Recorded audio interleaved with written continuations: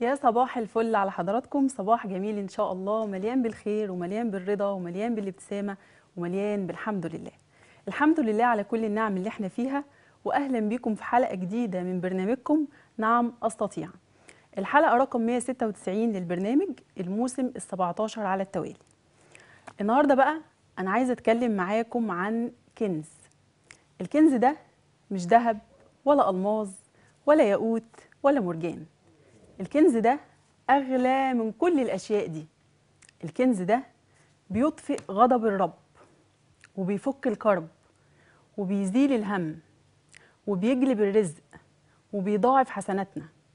الكنز ده بيشفي المريض وبيطهر النفوس وبيجعل دعائنا مستجاب. الكنز ده بيسد عنا سبعين باب من أبواب السوء في الدنيا. الكنز ده من الكنوز اللي بتكفر عن ذنوبنا وبتمحيها تماما وكأنها لم تكن. الكنز ده كمان باب من أبواب الجنة. الكنز ده هو الصدقة. كتير مننا بيتعامل مع الصدقة في المرض والأزمات والطوارئ فقط.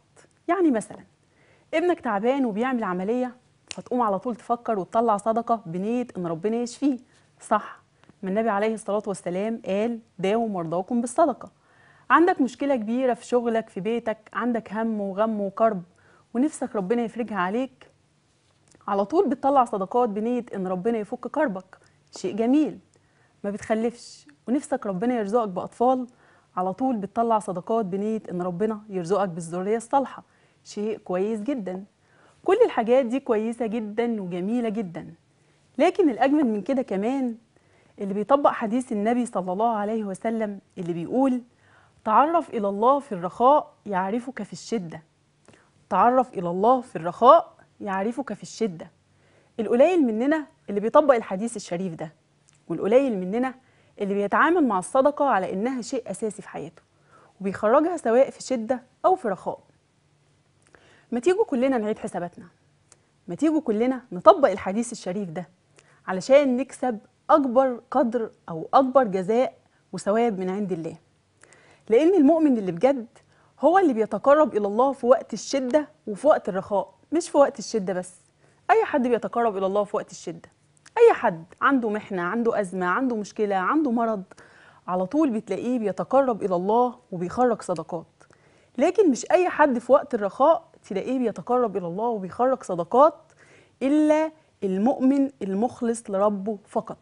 المؤمن اللي بجد. فتعالوا كلنا نخلص النية لله.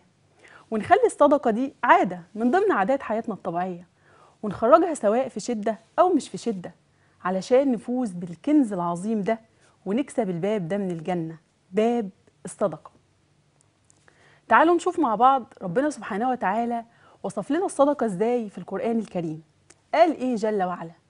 قال عن الصدقة إن هي كمثل حبة كمثل حبة أنبتت سبع سنابل.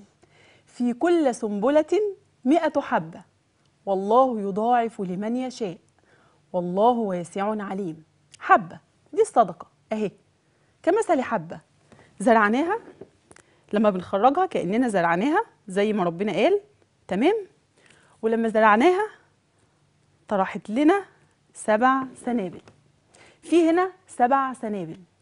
في كل سنبلة من دول طرحت لنا مية حبة.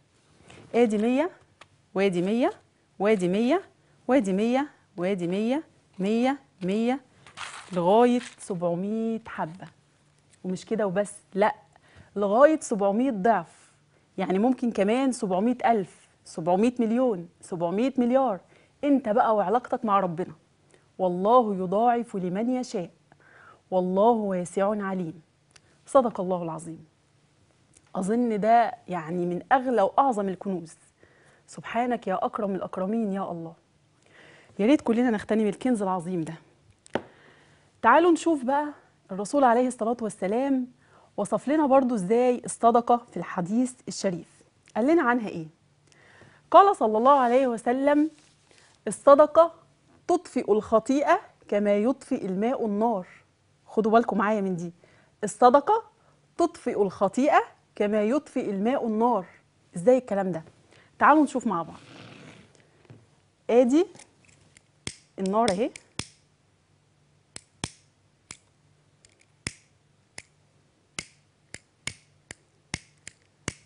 مش عايزة اتولع عليه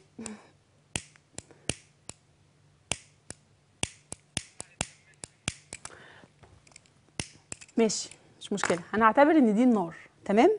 النار هنا يعني الخطيئة والذنوب بتاعتنا. تمام؟ ودي الصدقة. الصدقة هنا تتمثل في أو دي المية. تمام؟ المية هنا بتتمثل في الصدقة. تمام؟ تمام؟ دي هنا الصدقة. ودي الخطيئة والذنوب بتاعتنا. الرسول عليه الصلاة والسلام قال إيه بقى؟ قال لما بنخرج الصدقة دي إيه اللي بيحصل؟ إيه اللي حصل دلوقتي؟ دي الذنوب. إيه اللي حصل فيها؟ انطفت اتمحت وكأنها لم تكن. خلاص ما بقاش عندنا ذنوب. يعني الرسول عليه الصلاة والسلام بيقول لك لو أنت عندك ذنوب وقلبك موجوع من كثرة الذنوب والمعاصي ونفسك تكفر عن ذنوبك قوم دلوقتي وتصدق. قوم دلوقتي وتصدق. وانت ربنا هيمحي لك كل ذنوبك. ربنا هيغفر لك كل ذنوبك. وإحساس الوجع اللي عندك ده هيتبدل بإحساس يعني رضا وسعادة وسكينة كده في قلبك. أظن مفيش أسرع من الصدقة بتكفر الذنوب. فيعني وطبعا كلنا عندنا ذنوب ومعاصي مفيش حد خالي من الذنوب لكن ربنا من رحمته بينا بينزل لنا الكنوز دي أو بيخلق لنا الكنوز دي علشان نطهر بيها نفسنا ونكفر بيها عن ذنوبنا. فضل وخير كبير جدا جدا ممكن تعيشه بسبب الصدقة. ومحدش يقول الصدقة دي بتاعت الغني بس لا. الصدقة دي بتاعت الغني والفقير والمتوسط بتاعت الكل. وزي ما النبي عليه الصلاة والسلام قال سبق درهم ألف درهم. يعني ممكن واحد يتصدق بعشرة جنيه يسبق واحد تاني يتصدق بألف جنيه. اللي تصدق بعشرة جنيه ده ممكن يكون كل اللي معاه خمسين جنيه. فهو كده تصدق بخمس ماله. واللي تصدق بألف جنيه ده ممكن يكون عنده مليون جنيه. فهو كده لسه عنده كتير. ممكن الجنيه اللي انت بتتصدق بيه وانت ماشي في الشارع ده يكون عند ربنا أفضل من واحد تاني يتصدق ب 100 جنيه أو ب 200 جنيه. في ناس كتير جدا بتخرج صدقات يعني بألافات الفلوس لكن يعني بتخرجها من باب المظاهر والمنظرة. فمش انت اللي تحكم ولا انت اللي تقول لأن ربنا سبحانه وتعالى مطلع على النوايا. وما تقولش أنا فقير وما تجس عليا الصدقة لأ. تصدق باللي تقدر عليه. باللي تقدر عليه. ممكن تكون يعني في نظرك حاجة بسيطة لكن عند ربنا كبيرة قوي وعظيمة قوي. فتصدقوا واغتنموا الفرصة العظيمة دي. تعالوا بقى أقول لكم على أفكار حلوة جدا للصدقات. أول حاجة ممكن تجيبوا حصالة وتحطوها في أوضتكم وكل يوم تحطوا فيها جنيه أو اتنين جنيه أو تلاتة جنيه. تمام؟ ممكن تجيبوا حصالة وتحطوا فيها جنيه أو اتنين جنيه أو تلاتة جنيه أو على حسب ما يتيسر معاكم. وتيجوا آخر كل شهر تفتحوا الحصالة دي وتتصدقوا بالمبلغ اللي موجود فيها. ويا سلام بقى لو عودنا أطفالنا الحلوين على إنهم يعملوا كده من صغرهم. هتبقى حاجة عظيمة جدا. ممكن كمان تشتري عدد من الكراسي وتحطها في المسجد علشان أي حد هيصلي عليها هتاخد أجره وثوابه بإذن الله. مش قادر تشتري كراسي ممكن تشتري آه، مصاحف. وأي حد هيقرأ في المصحف هتاخد أجره وثوابه بإذن الله. ممكن مثلا تطلع طقم من ملابسك ومن ملابس زوجتك ومن ملابس أولادك وتغسلوهم كويس وتكوهم وتكيسوهم وتتصدقوا بيهم على أسرة فقيرة. ويا ريت بقى الهدوم دي ما تكونش مثلا قديمة عندكم أو صغرت عليكم لأ يا ريت تكون من أعز وأحلى حاجة بتلبسوها. علشان الصدقة قبل ما بتروح لإيد الفقير بتروح لإيد ربنا الأول. وزي ما السيدة عائشة أم المؤمنين كانت بتعمل كانت بتعطر الفلوس قبل ما بتتصدق بيها. ولما سألوها قالت لهم إن الرسول عليه الصلاة والسلام علمني إن الصدقة قبل ما بتقع في إيد الفقير بتقع في إيد ربنا الأول. فيا ريت كلنا نتعامل بالثقافة العظيمة دي علشان ننول أكبر يعني أكبر جزاء وأكبر ثواب من عند الله. ممكن كمان تطبع دعاء الخروج والدخول إلى المنزل على ورقة كبيرة مثلا وتحطها على بوابة العمارة من تحت. علشان أي حد نازل أو طالع هيقرأ الدعاء هتاخد أجره وثوابه بإذن الله. ودي طبعا حاجة بسيطة علينا كلنا وفي مقدرتنا كلنا ويا ريت كلنا نقوم نعملها دلوقتي. ممكن كمان آه، تعمل كولدير في الشارع لأن من أفضل وأعظم الصدقات صدقة سقي الماء. لو أنت مش قادر تعمل كول- كولدير ممكن تشتري كولمن من الكبير اللي إحنا بنشوفه في الشارع ده وتغسله و... وتعتني بيه طبعا وتحط فيه تلج ومية نظيفة وتحطه قدام بيتك أو محلك أو محل واحد جارك علشان أي حد هيشرب من المية دي هتاخد أجره وثوابه بإذن الله. ودي طبعا تعتبر صدقة جارية. آه، ممكن مثلا وأنت ماشي في الشارع لما يقابلك حد من عمال النظافة أو آه، ست عجوزة من اللي بيبقوا قاعدين يبيعوا عيش في الشارع ممكن تعدي على السوبر ماركت وتشتري مثلا آه، علبة عصير باكوين بسكوت شوكولاتاية وتروح تديها له أو تديها لها. لأن الناس دي غلابة جدا ما بيشتروش لنفسهم الحاجات دي وأي قرش بيوفروه لعيالهم. فدي حاجة بسيطة جدا بالنسبة لك لكن يعني كبيرة قوي عنده وهتفرحه أو هتفرحها جدا. ممكن كمان آه، لو أنت عندك إكسسوار كتير ممكن تستغني عن حاجة منهم وتحطيها في شنطتك. وانت ماشية رايحة شغلك رايحة جامعتك رايحة مدرستك رايحة أي مكان لما تقابلك بنت من اللي بيبيعوا مناديل في الشارع أو في المترو لبسيها لها وفرحيها بيها.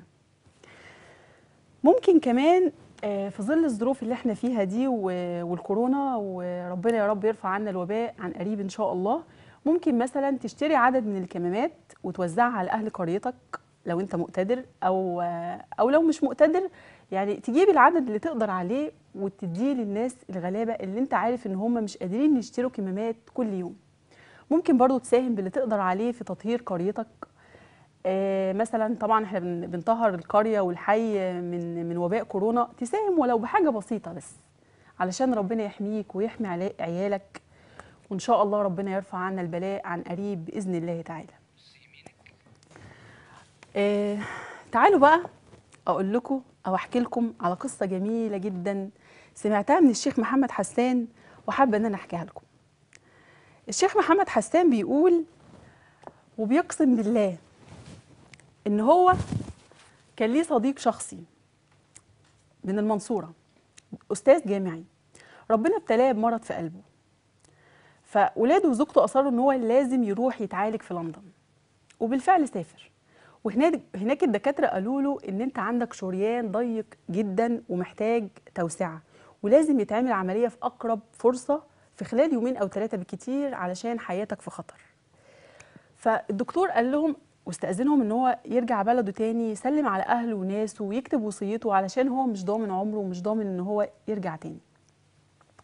الدكتور قال له أوكي وفعلا سافر كتب وصيته وسلم على أهله وأصحابه وولاده وقبل ما يسافر بيوم واحد بس كان قاعد مع مجموعة من صحابه في مكان معين. وهو قاعد شاف ست عجوزة واقفة عند راجل جزار. والراجل الجزار ده وهو بيقطع اللحمة كل شوية تقع منه حتة دهن حتة عظمة. فالست دي تشيل الحاجات دي وتحطها في شنطتها. فيعني استغرب جدا وقال الست دي بتعمل ليه كده؟ فقام وراح لها وسألها قال لها انت بتعملي إيه يا أمي؟ قالت له أو الأول بكت. وعيطت وقالت له والله يا ابني أنا عندي سبع بنات يتامى ما دقوش اللحمة بقالهم أكتر من ست شهور. وأنا ست فقيرة وغلبانة وعلى قد حالي مش قادرة أجيب لهم نص كيلو لحمة. فالأستاذ بكى عيط صعبت عليه جدا طبطب عليها وقال لها ما تزعليش يا أمي. وقال للجزار اقطع لها 2 كيلو لحمة. والست دي هتجيلك كل أسبوع تقطع لها 2 كيلو لحمة زيهم. وحساب مقدم وحساب سنة مقدم كام؟ قال له كذا. قال له اتفضل. الست دي بكت يعني بكاء شديد جدا جدا وركعت على رجليها وقعدت تدعي ربنا دعاء يهز القلوب. قعدت تدعي له دعاء يعني كتير قوي قعدت تدعي له بجد. فقومها وطبطب عليها وروحها وروح لعياله وقال لهم أنا حاسس إن أنا خفيت. أنا حاسس إن أنا خلاص يعني مش محتاجة عملية. أنا عمري في حياتي ما حسيت بالقوة والنشاط والصحة اللي أنا فيها دي في حياتي قبل كده. أنتوا لو قلتوا لي قوم هد البيت ده دلوقتي هقوم أهده. لكن ولاده أصروا إن هو لازم يروح يعمل العملية. وبالفعل سافر. ولما سافر الدكتور هناك أول ما شافه استغرب جدا يعني. قال إيه ده؟ مش هو ده الشخص اللي كان عندي من يومين ثلاثة أنا كان عندي واحد خلاص بيخلص بيموت. لكن اللي قدامي ده شخص في يعني بكامل صحته وقوته. ف الدكتور قال له إحنا عايزين نعيد الكشف. عادوا الكشف. الدكتور لما شاف نتيجة الكشف استغرب جدا. قال له إحنا عايزين نعيد الفحوصات والأشعة والتحاليل. عادوا الفحوصات والأشعة والتحاليل. الدكتور لما شاف النتيجة اتصدم. اتصدم. قال إيه ده؟ مش معقول. صرخ. قال له إزاي ده؟ إيه اللي حصل؟ أنت عملت إيه؟ الشريان اللي كان محتاج توسعة اتسع. اتسع. أنت عملت إيه؟ قال له تصدقت. تاجرت مع الله. شايفين الصدقة ممكن تعمل إيه؟ الصدقة ممكن تصنع المعجزات. زي ما قلت في الأول الصدقة بتشفي المريض وبتطهر النفوس. وبتجعل دعائنا مستجاب. الصدقة ممكن ترفع عنك وعن ولادك بلاء كبير كان ممكن يحصل لك. الصدقة كنز عظيم.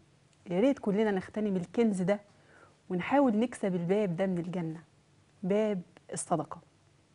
ويا ريت تحرص على إن الصدقة دي تكون في السر علشان ننول أكبر ثواب وجزاء من عند الله تعالى. يا رب أكون قدرت أقدم لكم محتوى مفيد وقدرتوا تستفادوا منه إن شاء الله. أنا كده خلصت فقرتي الأولى.